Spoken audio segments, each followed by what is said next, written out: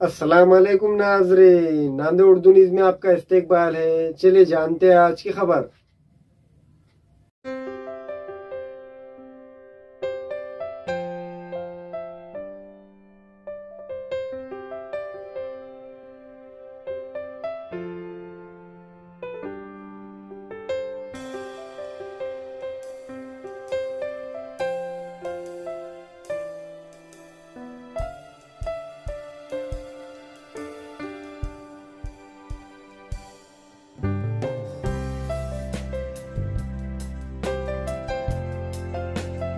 Honourable CM Shri Chandrashekar Rao ji इस बार किसान की सरकार, इस बार किसी हाल हिंदुस्तान में किसान की सरकार आना, ये स्लोगन लेके हम आगे बढ़ते हुए टीआरएस से आज बीआरएस बन गई हमारी पार्टी।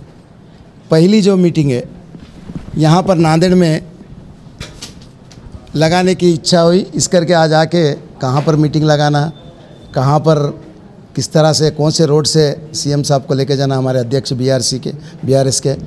तो ये डिसाइड करने के लिए आज हम सब सदस्य परभनी से और नांदेड़ के सब सदस्य मिलकर आज देख कर आए। इस बार हकीकत ये है कि हिंदुस्तान में सब लोग क्या चाह रहे बोल तो इधर कांग्रेस को देखे, इधर बीजेपी को देखे। अब दूसरी सरकार को देखने के लिए आगे बढ़ रहे। ये हंड्रेड परसेंट है कि इस बार बीआरएस सरकार बनेगी। क्योंकि यहाँ पर वेरी सिंपल है किसानों के लिए कोई सोचा नहीं पूरे हिंदुस्तान में। जो जो स्कीम्स सीएम साहब लगाए, मैं आपको एक ही दो बात में ख़त्म करता हूँ। किसान को सिक्स मंथ्स को छः हज़ार रुपये डालने की गवर्नमेंट कहीं पर नहीं है। गरीब बच्ची की शादी के लिए शादी मुबारक और कल्याण लक्ष्मी के नाम पे एक लाख सोलह हज़ार रुपये देने की कहीं पर भी नहीं है हिंदुस्तान में।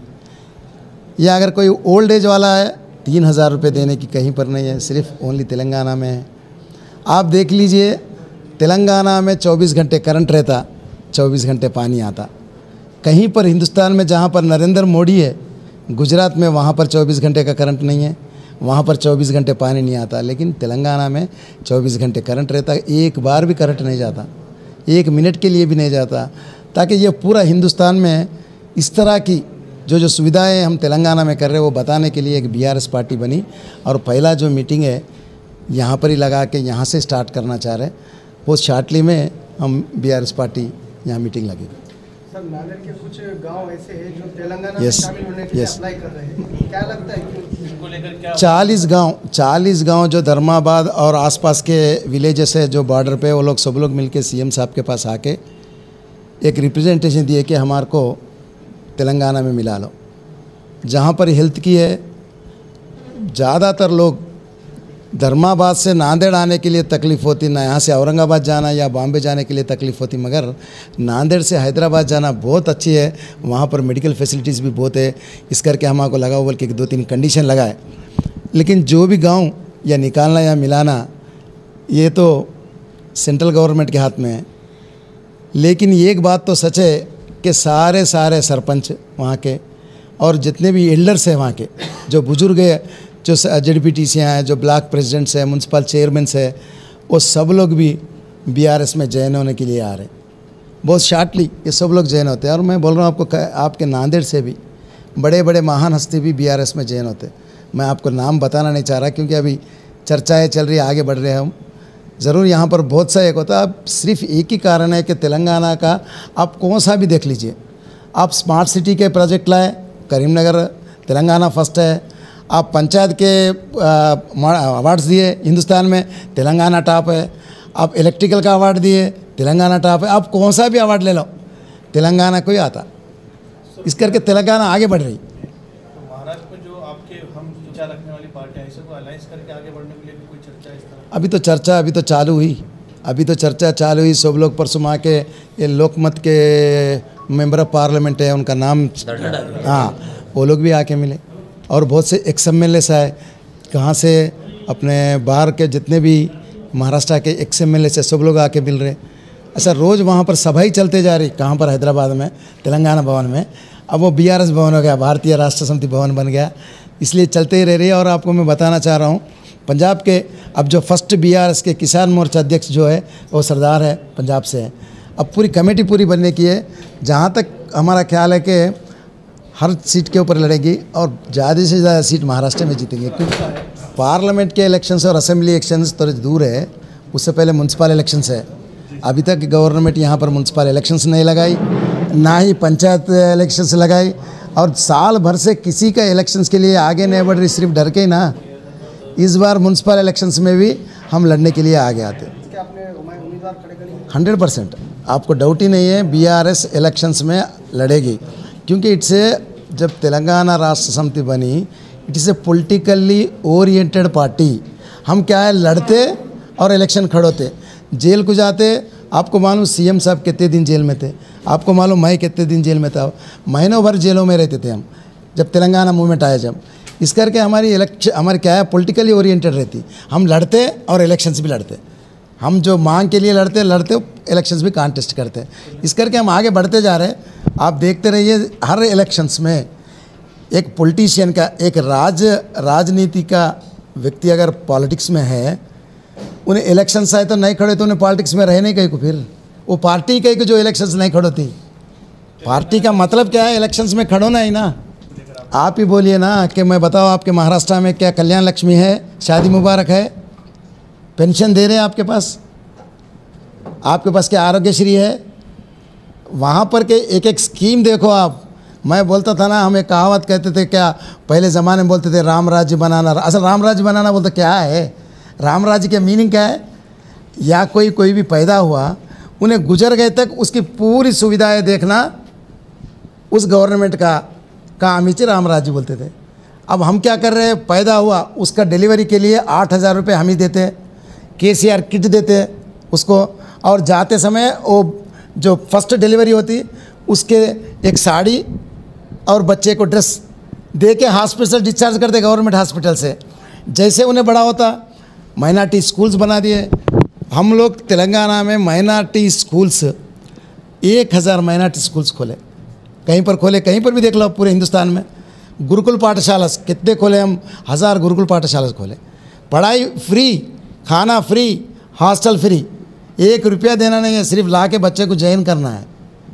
अगर मुस्लिम बच्चा है ला के उसको कहाँ पर ज्वाइन करना है? माइनॉरिटी स्कूल्स में। बच्ची है, ज़रूर उसको माइनॉरिटी स्कूल्स में, और गर्ल्स माइनॉरिटी स्कूल्स भी अलग बनाए। और क्या होना आपको, जैसे बड़ा होता है उसको हाँ शादी करते हैं, हम ही एक लाख एक हज़ार सोलह रुपये दे रहे ना उसको, शादी भी हो जा रही उसकी। अगर बुढ़ा हो गया पेंशन भी दे रहे हैं, उसको फिफ्टी सेवन ईयर्स आए कि नहीं, कि तीन हज़ार रुपये पेंशन। मेरे को बताइए, कहाँ पर है? कहाँ पर? कहीं पर हिंदुस्तान में कहीं पर नहीं है। जहाँ नरेंद्र मोदी मुख्यमंत्री बना पाँच बार, वहाँ पर नहीं है। अब प्रधानमंत्री है, कहाँ गुजरात में, मेरे को ये बताइए। सिर्फ़ मज़हब के नाम पे वोट लेना ही नहीं है ना। हंड्रेड परसेंट हमारी कोशिश है कि महानगर पालिका इलेक्शंस हो, जितने म्यूनसिपल इलेक्शंस हो बीआरएस आने के लिए आगे बढ़ेगी। उसमें कोई शक नहीं बहुत ही खुशी की बात थी। आज यहाँ पे हमने हमारे समाज के जो पड़ोसी राज्य है, तेलंगाना के सिविल सर्विसेज़ के ऊपर में, जो चेयरमैन पद के ऊपर में हमारे भाई रविंद्र एडवोकेट रविंद्र सिंह जी नियुक्त की इसलिए उनके यहाँ पे सभी समाज भाइयों की ओर से हाजुरी सात संगत की ओर से उनका सत्कार किया गया है। यह सत्कार हमारे सिख समाज के ज्येष्ठ नागरिक सरदार लड्डू सिंह जी महाजन, सरदार मोहन सिंह जी गाड़ी वाले, रंजीत सिंह जी काटगर और सभी समाज के लोगों के सरपरस्ती में कार्यक्रम किया गया है और हमें बहुत गर्व है कि हमारा एक भाई एक ऊँचे पद पे गया है पड़ोसी राज्य तेलंगाना के और वहाँ के मुख्यमंत्री श्री चंद्रशेखर राव जी का हमने यहाँ पे आभार व्यक्त किया है। ये कार्यक्रम को सभी समाज के लोग बहुत ही ज़ोर शोरों से हुए थे और समाज ने उनसे एक अपेक्षा भी लगाई है। जो हमारे गुरुद्वारा बोर्ड की वहाँ पे ज़मीन जो डोनेशन में दी गई थी वरंगल में और उस वो वरंगल की ज़मीन भी आप माननीय मुख्यमंत्री जी को बोल के गुरुद्वारे के नाम पे करेंगे। ऐसी उनके ऊपर में ज़िम्मेदारी दारी है। इस कार्यक्रम का आयोजन मेरे छोटे भाई गुलबीर सिंह जी नवाब और सभी हजूरी सात संगत की ओर से किया गया था जी। रविंद्र सिंह जी का भले जन्मभूमि उनकी करीमनगर हो, लेकिन कर्मभूमि कुछ एजुकेशन का माध्यम नांदेड़ से रहा है। और जो जो एडवोकेट की पदवी उन्हें बहाल हुई, जो एडवोकेट का कोड बहाल हुआ, वो यहाँ के विधि महाविद्यालय से उन्होंने लिया है और गुरुद्वारा के उन्होंने हॉस्टल में वो रहते थे। वो कभी भूलते नहीं है कि भाई मेरा एजुकेशन और मुझे जो मान सम्मान जो गुरुद्वारे से मिला है, हजूर साहब से मिला है, इसके लिए मैं यहाँ का बहुत शुक्रगुजार हूँ। और जो पद पे वहाँ तक पहुँचे, उसमें नांदेड़ का बहुत बड़ा योगदान है। देखिए, ये समाज ये सत पार्टी तो सहयोग करेंगी, क्योंकि इतना बड़ा मान सम्मान हमारे समाज के व्यक्ति को मिला है। क्योंकि आप देखते हैं, यहाँ भी, महाराष्ट्र के अंदर में भी हमारे सिख समाज के बड़े बड़े नेता रहे, लेकिन उन्हें मान सम्मान यहाँ नहीं मिला है। और यहाँ की सरकार हमारे गुरुद्वारा बोर्ड के अंदर में बहुत ही ज़्यादा हस्तक्षेप कर रही है। इसलिए उनकी सपोर्ट तो उनको मिलेगा एक सौ टक्के मिलेगा जी। हमेला खातन और औरतों के दिगर अमराज बांझपन के इलाज के लिए फैमिली प्लानिंग की मशवरात के लिए बेहतरीन आलात की सहूलत में नॉर्मल और ऑपरेशन से बच्चों की पैदाइश के लिए और जदगी के साथ साथ औरतों के दिगर अमराज के इलाज के लिए खसूसी नज्म। केरला के मल्टी स्पेशलिटी और गवर्नमेंट हॉस्पिटल के तजुर्बेकार doctor Khan Sara Nuzrat मावीन maternity and nursing home Chawalwala complex Yes Bank के ऊपर देगलू नाका, नांदेड़। हमारे यहाँ फर्नीचर, पलंग, सिंगारदान, सोफा सेट, अलमारी, डाइनिंग टेबल, कंप्यूटर टेबल और दीगर कंपनियों के फर्नीचर दस्तियाब है। प्रोपराइटर मौलाना मोहम्मद शबीर अहमद साहब, deluxe furniture mall and home appliances fruit market के सामने, माल्टिग्री road, Kamtha, Nanded. Fashion sari centre में दूल्हा और दुल्हन से लेकर बच्चों तक के लिए बेहतरीन डिज़ाइन के कपड़े मौजूद। सिल्क साड़ी कांजीवरम साड़ी, बनारस साड़ी काटन साड़ी, वो रेडीमेड गरारा, शरारा और लाचा Punjabi dress material jeans T shirt shirt के अलावा कोट पैंट शेरवानी दस्तियाब है।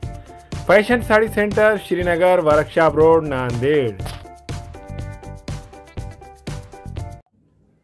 अस्सलाम वालेकुम मैं अखिल मिर्ज़ा, हमें उम्मीद है कि आपको हमारा चैनल अच्छा लगता होगा।